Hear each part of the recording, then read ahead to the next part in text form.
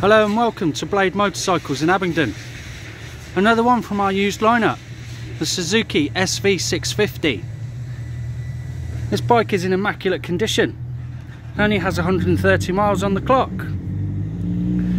This bike is A2 compliant. It will be checked over by our fully trained and qualified technicians. We can offer competitive rates of finance. And we welcome part exchange.